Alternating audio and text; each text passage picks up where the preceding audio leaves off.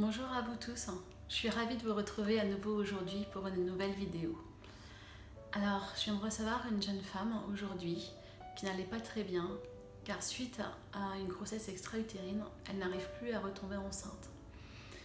Elle est dans la culpabilité de ne pas avoir réussi à accueillir cet enfant, dans la culpabilité de ne pas pouvoir donner un enfant à son mari alors qu'il, selon elle, il le mérite. Je pense qu'il le mérite autant qu'elle. Et du coup, elle était complètement bloquée. Je suis très émue. Et je me permets de vous faire cette petite vidéo pour vous dire que, que ce soit un avortement, que ce soit une grossesse extra-utérine, que ce soit euh, une fausse couche, euh, ce que nous, en tant que femmes, nous pouvons vivre, forcément, cela va avoir des répercussions dans notre vie. On peut ressentir des blocages suite à, à ces situations que nous sommes amenés à, amenés à vivre. Pardon ce que je vous propose, ce qui est essentiel pour aider cette petite âme qui avait décidé de venir s'incarner sur Terre mais qui n'a pas réussi à faire chemin jusqu'au bout, soit parce que, ben voilà, une fausse couche, donc c'est souvent un enfant qui a été mal formé. Euh, un avortement, c'est parce que la maman n'a pas réussi, n'a pas pu accueillir cet enfant. Ou voilà, une grossesse extra-utérine, l'enfant était mal placé.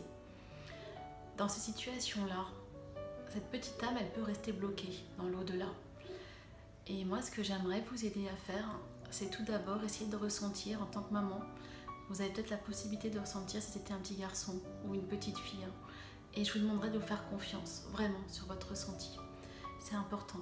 Et du coup, donnez-lui un prénom à cet enfant. Euh, et puis si vous ne savez pas vraiment, si vous êtes perdu et que vous me dites, je ne sais pas si c'était vraiment un petit garçon ou une petite fille, donnez un prénom, j'ai envie de dire, neutre qui peut aller aux deux mais l'essentiel, c'est l'intention que vous allez mettre.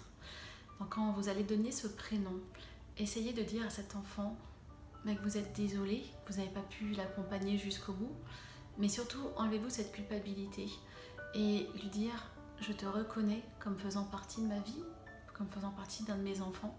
Je te donne un prénom et sache que tu auras toujours une place dans mon cœur et que je t'aime très très fort. Juste ça, je vous assure que c'est déjà énorme. Et aussi, si vous pouvez éventuellement choisir, si vous en avez la possibilité, choisir un objet qui va symboliser cet enfant qui n'a pas pu s'incarner sur Terre. Ça peut être euh, une, peluche, ça peut être euh, un petit ange. Voilà, je fais un petit clin d'œil parce que j'ai ma fille qui vient de passer, elle part à l'école. Euh, voilà, ça peut être donc une peluche, un petit ange, peu importe. une dame la semaine dernière aussi, suite à un avortement, et donc j'ai parlé de ça avec elle. Elle a choisi un petit objet en pâte à sel que sa fille aînée avait fait et je trouve ça génial. Voilà, donc euh, faites ça, je vous assure que vous vous sentirez mieux. Euh, votre bébé dans l'au-delà, ben, il va se sentir aussi euh, soulagé. Il y a un poids qui va partir et votre enfant va pouvoir retrouver votre famille déjà précédemment décédée. Donc ce matin, la jeune fille, c'était son papa qui est décédé. D'avoir pu donner donc un prénom à son enfant, donc suite à cette grossesse extra-utérine, ben, ça a rassemblé les deux et euh, du coup, ben, son papa a pu retrouver sa petite fille. Donc le grand-père a pu retrouver la petite fille. Donc voilà, c'est vraiment important si vous pouvez faire ça, si vous avez vécu ces situations-là. Ben, moi, je vous encourage à les faire. Enfin, à faire ce, petit rituel, donc de nous donner un prénom et puis de symboliser par un objet euh, la présence de cet enfant. Je vous embrasse très très fort. Euh, j'espère que j'ai été bien claire parce que pareil, je suis sous le coup de l'émotion de ce que j'ai vu avec ce que j'ai vécu ce matin avec cette dame-là. Je vous embrasse très très fort. Vous êtes dans mon cœur et puis bon courage à vous. À très bientôt.